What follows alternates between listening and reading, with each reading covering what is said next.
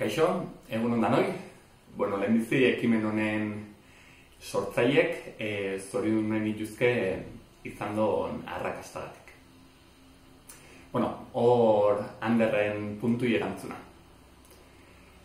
Sukaldean zabiltza hartzaken pareko gara jau izan bedi aprobetxatzeko aukera ona izan da hortan hobetzeko.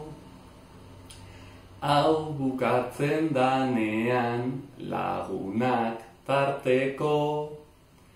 Pentsatua detia da zer jarria faltzeko. Pentsatua detia da zer jarria faltzeko